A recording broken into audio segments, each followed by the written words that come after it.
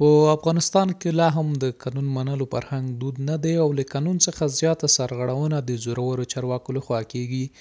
پر اساسي قانون د څار خپلواک کمیسیون غړی قضاوتیار محمد عارف حافظ ملت ته د حساب ورکونې غونډه کې وویل چې ستونزه تر ډیره د اساسي قانون په احکامو کې نه بلکې په پلي کېدو کې ده. عارف حافظ وایي هغه ادارې چې له قانون څخه سرغړونه کړې او یا یې کوي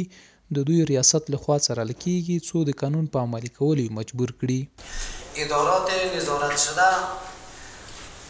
عبارت است از محابس، نظارتخانه ها، نیادهای عدلی و قضایی، زندان بگرام، مرکز اصلاحات و اصلاح و تربیت اطفال، شرکت های مخابراتی، وزارت داخله و معارف،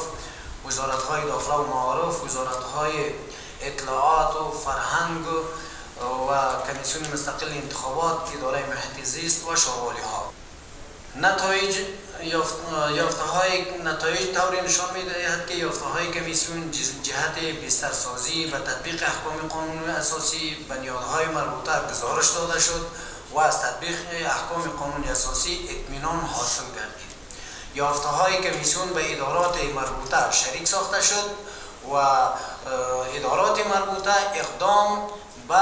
تعمیل یافته های کمیسیون کردند و اطمینان دادند. د یاد کمیسیون بل غړی محمد هارون ستانکزی وایي د افغانستان اوسنی اساسي قانون د افغانانو د ډیرو هیلو ضمانت کوي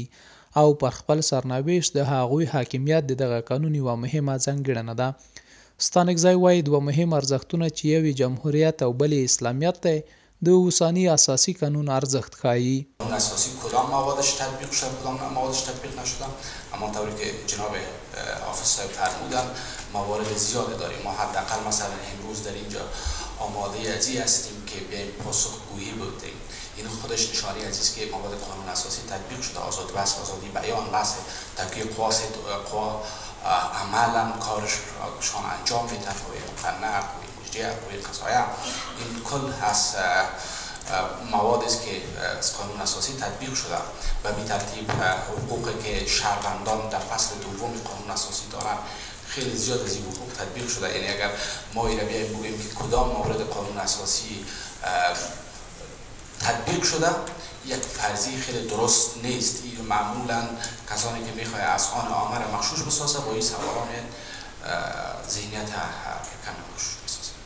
عارف حفیظ وایي چې د یاد کمیسیون لپاره انکشافي بودیجه په نظر کې نه ونیول شوې خو د واتیا میلیونه عادي بودیجې په ورکړې سره خپل کارونه په منظمه توګه پر مخ وړي.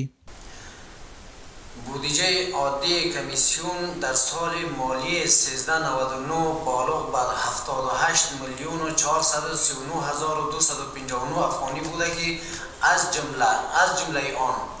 مبلغ 68 میلیون و 626 هزار و 298 افغانی تا آخر سال مالی 1399 مصرف شده است که 87.49 درصد کل بودجه عادی می باشد. قابل ذکر است که کمیسیون مستقل نظارت بر تطبیق قانون اساسی در سال مالی 1399 بودجه انکشافی نداشته است یو شمیر افغان حقوقپوهان وایي د افغانستان اساسي قانون له ځینو نیمګړتیاو سره سره د افغانستان له شرایطو سره برابر دی خو ستونزه د دې قانون د احکامو په نه پلي کېدو کې بولي. شاوخوا ولس کاله وړاندې د اساسي قانون پر تطبیق د څار خپلواک کمیسیون هم رامنځته شو. خو تر ډیره داسې ویل کېږي چې دغه کمیسیون نه دی توانېدلی څو د دغه قانون مادي تفسیر او تحلیل کړي او یا هم په هغه لوړ پوړو چارواکو قانون پلی کړي چې زر او زور زیات دی